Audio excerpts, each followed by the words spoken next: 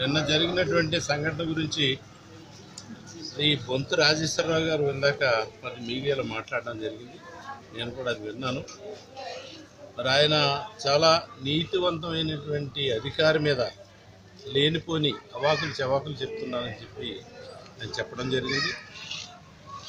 నీతివంతుడైనటువంటి అధికారి ఎవరైతే మల్కీపురం ఎస్ఐ ఉన్నారో ఎస్ఐ మరి రోజు కూడా వచ్చేటువంటి ఇసుక లారీల్లో లారీకి ఇరవై వేలు చొప్పున తీసుకుంటాం. ప్రతి కేసు వచ్చిన ప్రతి కేసు అతని దగ్గర కూడా డబ్బులు వసూలు చేస్తా ఇరవై వేలు నైట్ అంతా ఏదో దొంగచాటుగా ఇక్కడ కన్స్ట్రక్షన్ ఇల్లు ఆగిపోయినటువంటి వాళ్ళు ఏదో రకంగా తెచ్చుకుని ముహూర్తాలు వస్తున్నాయి శ్రావణ మాసం వస్తుంది.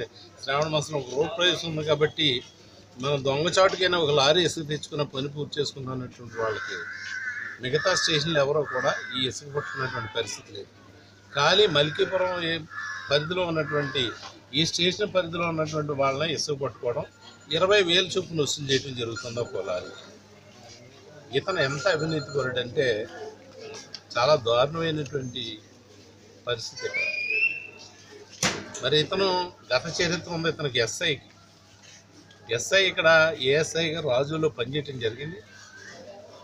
ఇతను చాలా దారుణంగా మరి ఇక్కడ పొదలాలో ఒక ఆమెతో ఇల్లీగల్ కాంటాక్ట్ పెట్టుకుంటే అక్కడ పెట్టుకుని తన్నేరయ్యింది బడితో పూజ చేసినటువంటి పరిస్థితి ఇదే ఎస్ఐ. మరి నేను ఎస్ఐ అంటే నువ్వు ఎస్ఐ అయితే ఇక్కడ ఈ కార్యక్రమాలు చేయమని ఉందా అని చెప్పి ఊర్లో గ్రామస్తులందరూ కూడా తన్ని తరిగినటువంటి పరిస్థితి. అది కేసు కూడా అయింది వివరాలు కూడా పెడతాను. ఎంత అవినీతిపరుడు ఎంత నిజాయితీపరుడు చెప్పడం కోసం చెప్తున్నాను. అదేవిధంగా ఈయన నిజాయితీ గురించి చెప్తున్నాడు కదా మరి ఇంత నిజాయితీ గురించి మాట్లాడే బొంతు రాజేశ్వరరావు గారు ఎంత నిజాయితీపరుడు మీరు ఈఎన్సీగా రిటైర్ అయ్యారు. చాలా సంతోషం. మీ ఆస్తి ఎంత? మీ తండ్రి గారు మీకు ఇచ్చిన ఆస్తి ఎంత? ఒక వ్యవసాయ కూలి ఇంట్లో మీరు పుట్టారు. కష్టపడ్డారు ఇంజనీరింగ్ చదువుకున్నారు ఈఎన్సీ స్థాయికి వెళ్ళారు. ఈఎన్సీ స్థాయికి వెళ్ళి ఉద్యోగం అయిపోయినా మీ తెలివితేటల్లో మీ మీ కాక పట్టేటువంటి మనస్తత్వంతో ఉద్యోగం అయిపోయిన తర్వాత కూడా జానారెడ్డి గారికి డబ్బులు ఇచ్చి మీరు మళ్ళీ ఆరు మాసాలు ఎక్స్టెన్షన్ చేయించుకుని అందులో ఈఎన్సీగా పనిచేసినటువంటి పరిస్థితి. మీ ఆస్తి ఎంత? ఎంత ఆస్తి ఉంది? ఈ కోట్లాది రూపాయలు గత ఎలక్షన్లోనే పద్దెనిమిది కోట్లు ఖర్చు అయిందని మీ నోటితో మీరే చెప్పారు. అంటే ఈ ఎలక్షన్లో కూడా ఇంకో పద్దెనిమిది కోట్లు అయి ఉంటుంది ముప్పై ఆరు కోట్లు ఎలక్షన్లో ఖర్చు పెట్టగలిగారంటే మీ ఆస్తి ఎంత? ఎక్కడి నుంచి వచ్చింది మీకు ఆస్తి? అవినీతిపరుడా నిజాయితీపరుడా మీరు? మీరు నిజాయితీపరుడా ఎలాగొచ్చింది ముప్పై ఆరు కోట్లు ఖర్చు పెట్టేటువంటి పరిస్థితి మీకుందా? మీ ఉద్యోగం ఎంత? మీ జీతం ఎంత? అవినీతి మీ టైంలో పూర్తిగా దోచేసినటువంటి పరిస్థితి. రెండు పిఆర్కి ఆర్డబ్ల్యూఎస్కి కూడా మీరు ఈఎన్సీ చేశారు. రెండు టైంలో కూడా గవర్నమెంట్ సొమ్మును దోచేస్తే ఇంత ఆస్తి వచ్చింది మీకు. ఎక్కడ పెడితే అక్కడ ఆస్తులు ఉన్నాయి మీకు. హైటెక్ సిటీలో ఆస్తులు ఉన్నాయి. అలాగే రాజానగరంలో ఆస్తులు ఉన్నాయి. మల్కీపురంలో ఆస్తులు ఉన్నాయి. ఇన్ని ఆస్తులు ఎక్కడి నుంచి సంపాదించారు మీరు? మీరు జీతంతో సంపాదించారా? నాకున్న ఆస్తి చూడండి. నాకున్న ఆస్తి ఏడు ఎకరాలు. నా తండ్రి నాకు పంచిపెట్టింది పన్నెండు ఎకరాలు. ఇప్పుడు మిగిలింది ఏడు ఎకరాలు. నేను నా తండ్రి పేదవాడే. కానీ నేను పుట్టేటప్పుడు ధనవంతుని నేను. నా తండ్రి పేదవాడిగా పుట్టాడు. కష్టపడి సంపాదించి నేను పుట్టేసరికి ఆస్తి సంపాదించేశాడు. ముప్పై ఎకరం భూమి ఉన్నటువంటి రైతు ఎస్సీ రైతులో ముప్పై ఎకరం ఉన్నటువంటి మేము మాత్రమే చింతలపూర్ నుంచి ఆ సొంత ఉన్నతమైనటువంటి కుటుంబంలో నేను పుట్టాను. అంతకుముందు నా తండ్రి పేదరికం అనుభవించవచ్చు కానీ నేను అనుభవించలేదు. నాకున్నటువంటి ఆస్తిని పెరిగింది కానీ పెరగలేదు. ఇసుక దోపిడీ అంటారు. ఇసుక దోపిడీ దేన్నంటారో తెలుసా మీకు? ఇసుక మాఫీ అంటే ఏంటో తెలుసా? ఇసుక మాఫీ అంటే నువ్వు గొల్లపల్లి సూర్యారావు టీడీపీ ఎమ్మెల్యే కలిపి ఐదు సంవత్సరాలు చేశారు. గరుగు ఇసుక తీసుకొచ్చి అమ్ముకోవడం. దాన్ని ఇసుక మాఫీ అంటారు. సముద్రం దగ్గర ఇసుక తీస్తే ఇసుక మాఫీ అంటారు. రైతుని నేను స్వతహాగా రైతు ఆడు పొలంలో పంట వేసుకుంటాడు.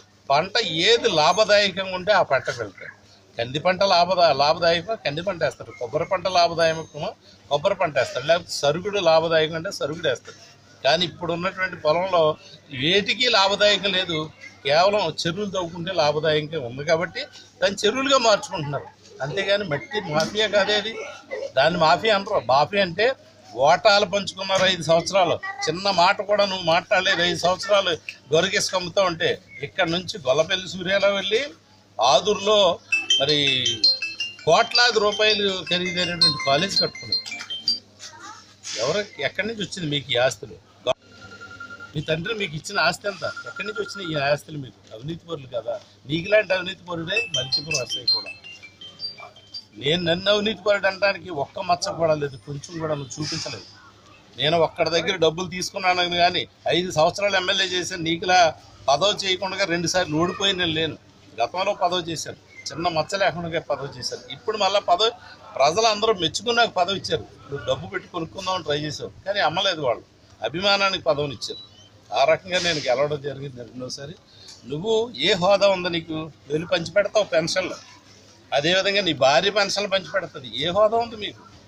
ఓడిపోయిన సిగ్గు మాత్రం లేదా కొంచెం కూడా మీకు? సిగ్గుపడరా మీరు? ఈ సమాజం చూస్తుందనేటువంటి ఆలోచన కూడా మీకు లేదా? సిగ్గుపడాలి కదా. ఎక్కడికి వెళ్ళి ఏ హోదాలో నువ్వు వెళ్ళి పెన్షన్లు పంచి పెడతావు తద్దిన పెట్టినాడు తమ్ముడు అంటారు చూడు. తద్దినం పెడితే ఆడు తమ్ముడు పక్కన కూర్చుని ఇలా చేయి పట్టుకుంటాడు. చేయమని చెయ్యద్దు నేను నేను ఇక్కడ పంచి పెడతాను అధికారంలో ఉండి ఓ చెయ్యేస్తావు దాని మీదకి వచ్చి. నీకేం సంబంధం? నేను వెళ్ళిపోయిన తర్వాత మళ్ళీ వచ్చి నేను ఇస్తాను పెన్షన్ అంటే నీకు సంబంధం నీకు హక్కు ఉందా? సిగ్గుపడాలి నువ్వు రెండుసార్లు చీ అన్నారు ప్రజలు. నువ్వు మాట్లాడుతూ ఉంటావు నీతి గురించి అవినీతి గురించి. నీ వెనకాల నీ వాట్సాప్లో మాట్లాడిన నువ్వు మాటలు మళ్ళీ వాట్సాప్ చూసుకో ఒకసారి. నీ ప్రక్కన ఉన్నటువంటి జనం ఏం ఏ జనంతో నువ్వు మాట్లాడుతున్నావు? నా ప్రక్కన ఉన్న జనం చూడు. మీరు ఎవరైనా ప్రజల సొమ్ము దొబ్బిన వాళ్ళ? నీ వెనకాల ఒకసారి వాట్సాప్ చూసుకో. నీ ప్రక్కన ఉన్నటువంటి వాళ్ళు ఇజ్రాయేల్ అలాగే లండన్ పంపుతారని కోట్లాది రూపాయలు పేద ప్రజలు ఆస్తులు అమ్మించేసినటువంటి జనం నీ ప్రక్కన ఉన్నారు. ఒకసారి చూసుకో. సిగ్గుపడు కొంచెం. సిగ్గుపడుతూ మాట్లాడు. ఒక ఎమ్మెల్యేని నాకు గొంతున్నాడని చెప్పి నీ ఎండ చూసుకుని నన్ను ఎమ్మెల్యే లంచే కొడుకుని తిడతాడు అక్కడ. అని తన్నటం కాదు. ప్రజలే తన్నుతారు. నాకు సంబంధం లేదు. అక్కడ పెట్రోల్ పోసారా? పెట్రోల్ మీద పోలీస్ స్టేషన్ మీద దాడి చేసి పెట్రోల్ పోసారా? నువ్వు చూసావా? ఏం మాట్లాడుతున్నావు నువ్వు? నీకు అసలు జ్ఞానం ఉందా? ఎవడో చెప్తే చేసేటమైనా మాట్లాడేటమైనా ఆ మాత్రం ఇంగిత జ్ఞానం లేనివాడు ఏం చదువుకున్నాను? ఎన్సీ ఎలా చేయగలిగావు? కొంచెమైన ఆలోచనతో వెళ్ళి నీ వెనకాల ఉన్న వాట్సాప్ చూసుకో. అవినీతి పరులు అందులో ఉన్నారో వాళ్ళని చూసుకో. నా వాట్సాప్లో చూసుకో సరిపడి వస్తుంది. ఎప్పుడైనా అవినీతి పరుడు ఉండడమో నువ్వు చూడు. చూసప్పుడు చెప్పు. మాట్లాడుతున్నావు మాట్లాడలేదనా? నేను మాట్లాడలేదనా? నువ్వు మాట్లాడుతున్నావు. అవినీతి గురించి మాట్లాడి నీతి గురించి మాట్లాడే హక్కు నీకు లేదు అసలు. అవినీతి పరుడు నువ్వు. పూర్తిగా దోచేసావు గవర్నమెంట్ ఎక్కడ పడితే అక్కడ కోట్లాది రూపాయలు ఆస్తులు ఎక్కడ వచ్చినాయి? ముప్పై ఆరు కోట్ల రూపాయలు నియోజకవర్గం ఖర్చు పెట్టావు. ఎక్కడది నీకు? ఎక్కడొచ్చింది? నీ నోటితో నువ్వే చెప్తున్నావు పద్దెనిమిది కోట్లు ఖర్చు పెట్టాను పద్దెనిమిది కోట్లు ఖర్చు పెట్టానని. అంటే ఈసారి కూడా పద్దెనిమిది ఖర్చు పెట్టి ఉంటావు కదా నువ్వు. ముప్పై ఆరు కోట్లు ఖర్చు పెట్టి శక్తి నీకు వచ్చిందా? నా ఆస్తి అంతా ఆస్తి కోట్లాది రూపాయల ఆస్తి లేదు. కానీ కోట్లాది రూపాయల కంటే ఎక్కువ విలువ చేసే ప్రధాభిమానం నాకు ఉంది. ఈవేళ వాళ్ళే చందాలు వేసుకుని నాకు ఓట్లేసి గెలిపించారు. నువ్వు డబ్బుతో కొనాలని చూసావు. నేను అభిమానంతో నేను ఆకట్టుకోవడం జరిగింది. సిగ్గుపడు. ఒక్క- ఇప్పటికైనా రెండు సార్లు చీయన్నారు నిన్ను. సిగ్గుపడుతూ ఉండు. మరొకసారి నువ్వు వెళ్ళి ఆ పెన్షన్లు ఇస్తాను తగుదునమ్మా అని చెప్పేసి నేను పట్టాలు ఇస్తానంటే ఎవడో యాక్సెప్ట్ ఒప్పుకోవడానికి నువ్వు ఎంతవరకు ఉండాలో నీకు ఎంతవరకు వస్తుందో అంత ఉండు. సిగ్గుపడవయ్యా బాబు. ఎందుకయ్యా పెన్షన్లు పంచి పెడతానంటావు నిన్ను ప్రజలు సీ అంటే మళ్ళీ వెళ్ళిపోయి అక్కడికి వెళ్ళి పంచి పెడతానంటావు జ్ఞానం ఉందా నీకు? ఏం మాట్లాడుతున్నావు నా గురించి మాట్లాడి దమ్ము ధైర్యం అంత ఇది నీకుందా? నా గురించి మాట్లాడా నువ్వు సరిపోవు. అవినీతి పరుడు నువ్వు నేను నీతిపరుడు ఇప్పటికే కాదు ఎప్పుడూ చెప్తాను. నన్ను ఇంత మచ్చ కూడా నువ్వు చూపించలేవు. గత ఐదు సంవత్సరాల్లో నేను పనిచేశాను మచ్చ చూపించలేకపోయి ఇప్పుడు చూపించలేవు. ఇప్పుడు నువ్వా?